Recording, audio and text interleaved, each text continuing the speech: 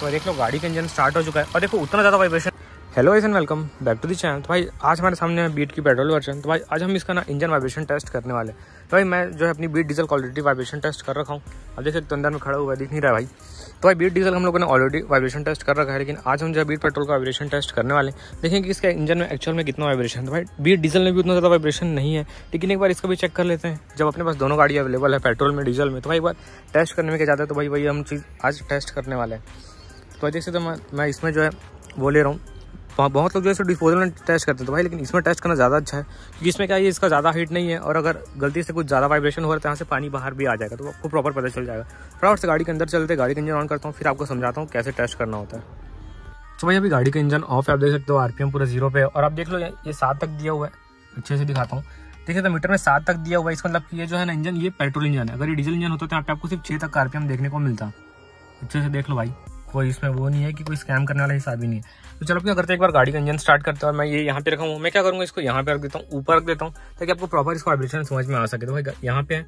और मैं क्या करता हूँ? फटाफट से गाड़ी का इंजन स्टार्ट करता हूँ। देख सकते हो गाड़ी का इंजन ऑफ़ है तो भाई देखना। भाई, गाड़ी का इंजन स्टार्ट हो गया है। अब देख सकते हो, ये है अपना। आरपीएम भी आगे बढ़ चुका है, गाड़ी का इंजन स्टार्ट है। अब देख लो, गाड़ी का इंजन स्टार्ट है भाई, इसमें अपना वाइब्रेशन के नाम पे पूरा ज़ीरो मतलब बिल्कुल भी वाइब्रेशन नहीं आ रहा है इस गाड़ी पे। तो एक बार काम, एक काम करते हैं, एक बार एसी ऑन करते हैं, फिर इसको वाइब्रेशन टेस्ट करते हैं। अभी एसी बने तो हो सकता है कि एसी बंद होने के कारण ज़्यादा वाइब्रेशन नहीं कर रहा हो। एक बार एसी ऑन करते हैं। अब देखो मैं एसी ऑन करूँगा यहाँ पे कुछ फ़र्क पड़ेगा यानी। भाई मैं एसी ऑन कर दिया हूँ। देख तो बिल्कुल भी कोई फ़र्क नहीं है। एकदम एकदम जो है ना नेग्लिजिबल फ़र्क है। मतलब आपको समझ में भी नहीं आएगा कि कोई फ़र्क इसमें आया है या नहीं आया। तो भाई बिल्कुल ज़ीरो वाला फ़र्क है।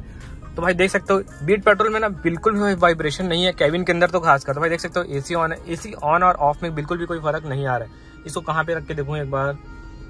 देखते हैं, ये यहाँ पे है। इसको एक बार यहाँ रख लेते हैं। नहीं, यहाँ पे तो बनेगा नहीं, यहीं पे रख लेते हैं। भाई, इसको मैं फिर से देखना, मैं एसी बंद कर रहा हूँ। वन टू थ्री एसी बंद कर दिया देख लो भाई, कोई फ़र्क नहीं है। और एक बार फिर से इसका जो है एसी ऑन करके देखते हैं। गाड़ी का एसी ऑन कर रहा हूँ। वन टू थ्री तो देख सकते हो, आपको एकदम ना माइनर सा फ़र्क, एकदम माइनर सा इसमें जो आपको वाइब्रेशन देखने को मिलेगा। मतलब कि कैबिन के अंदर ना बीट पेट्रोल के अंदर, बिल्कुल भी वाइब्रेशन नहीं है। तो भाई, इसका इंजन काफ़ी ज़्यादा रिफाइंड है। एज कंपेयर टू जैसे हम कंपेयर करते हैं डीजल इंजन से तो भाई डीजल इंजन तो थोड़ा सा वाइब्रेशन उसमें रहता ही है, लेकिन डीजल इंजन से अगर पेट्रोल इंजन को कंपेयर करते हैं तो भाई इसका वाइब्रेशन काफ़ी ज़्यादा कम है। और भाई इस गाड़ी का जो इंजन है ना, वो इतना ज़्यादा रिफाइंड है कि भाई ये मारुति के इंजन को टक्कर देती है आप सोच लो भाई, इतनी पुरानी गाड़ी, और ये लगभग जो पचास हज़ार किलोमीटर चल चुका है। अब पचास हज़ार किलोमीटर चलने के बाद गाड़ी के इंजन में काफ़ी सारे वियर वियर्स एंड टीयर्स होते हैं। तो भाई चलो ये सब बात की बात बाद में करेंगे, लेकिन भाई हम लोगों ने गाड़ी के कैबिन के अंदर वाइब्रेशन टेस्ट करके देखिए, लेकिन एक बार जो है, इसका वाइब्रेशन टेस्ट जो है ना, गाड़ी के इंजन बे में इसको जो एक बार रख के देखते हैं बोनोट ओपन करते हैं इंजन के ऊपर रख के देखते हैं कि क्या वाइब्रेशन इसमें आ रहा है या नहीं आ रहा है। तो भाई, एक बार इसमें एक्सलेटर मार के भी चेक कर लेते हैं कि क्या वाइब्रेशन इसमें बढ़ रहा है या नहीं बढ़ रहा देख सकते हो एक्सीटर मार रहा हूँ तो वैसे क्या करेंगे, थोड़ा सा आरपीएम बढ़ा के देखेंगे। देख सकते हो, अभी ये इतना है। एक बार मैं इसको एक्सीटर मारता हूँ। तो भाई, बिल्कुल भी वाइब्रेशन नहीं आ रहा है, देख लो। पूरा ज़ीरो है वाइब्रेशन है। भाई तो इस गाड़ी में आपको बिल्कुल वाइब्रेशन देखने को मिलेगा नहीं। तो भाई, मैं डीजल ऑन करता हूँ, मैं भी डीजल चलाता हूँ, लेकिन भाई, जब इस गाड़ी में बैठता हूँ ना देखो एकदम ना अलग ही लेवल का रिफाइनमेंट देखने को मिलता है और अलग ही मज़ा आता है इस गाड़ी को चलाने में। तो भाई, लेकिन डीजल थोड़ा रफ एंड टफ होता है। वही पेट्रोल से ज़्यादा रफ एंड टफ नहीं होता, लेकिन भाई वाइब्रेशन के मामले में ना, इस गाड़ी में बिल्कुल वाइब्रेशन नहीं है। और एक बार क्या करते हैं, फटाफट से गाड़ी के इंजन भी ओपन करते हैं। इंजन में इसको रख देखते हैं कि भाई, क्या वाइब्रेशन आ रहा है या नहीं आ रहा है, गाड़ी को ऑन ऑफ़ करने के टाइम पर तो चलो, फटाफट से बाहर चलते हैं। तो भाई गाड़ी का इंजन भी ओपन है। अब क्या करेंगे? इसको जो है ना, इंजन के ऊपर रख देखते हैं। भाई, इंजन तो नहीं लेकिन डायरेक्ट जो है, इंजन के ऊपर एयर फ़िल्टर असेंबली लगा हुआ है। सॉरी एयर फ़िल्टर असेंबली नहीं है, ये कुछ और ही चीज़ का चलो, वो बाद में देखेंगे।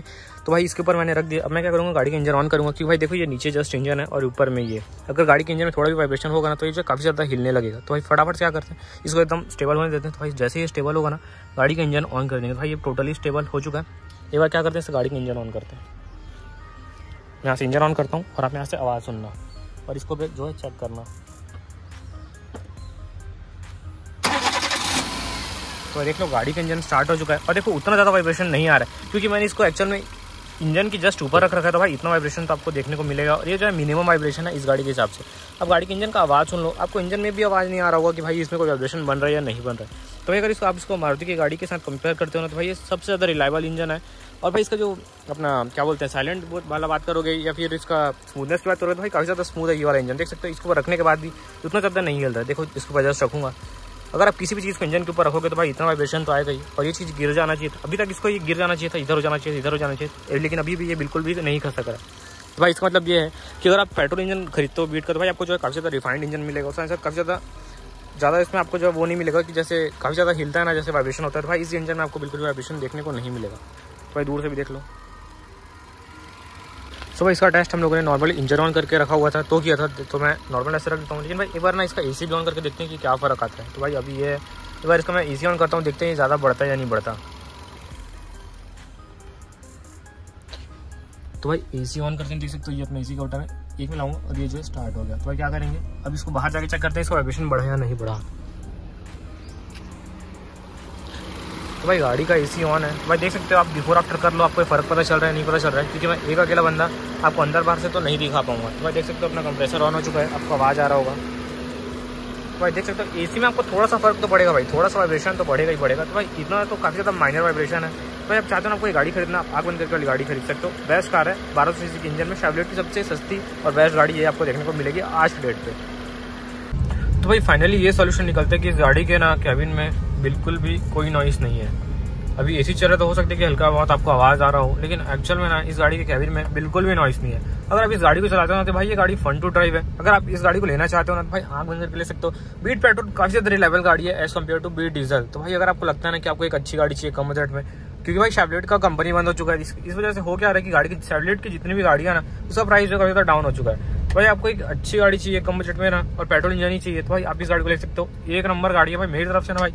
हंड्रेड आउट ऑफ़ हंड्रेड है। भाई, ये गाड़ी जो टोटल पचास हज़ार किलोमीटर चल चुका है, लेकिन आज तक इस गाड़ी में एक रुपए का काम नहीं हुआ है। एक बार बस इस गाड़ी का टायर चेंज हुआ है, उसके बाद एक भी कोई काम नहीं हुआ तो भाई, ये परफेक्ट गाड़ी आप चाहते हो ना आपको एक प्रॉपर गाड़ी चाहिए, एक कम बजट में तो आप इस गाड़ी को आँख बंद करके ले सकते हो। सो भाई आज के वीडियो में इतना ही।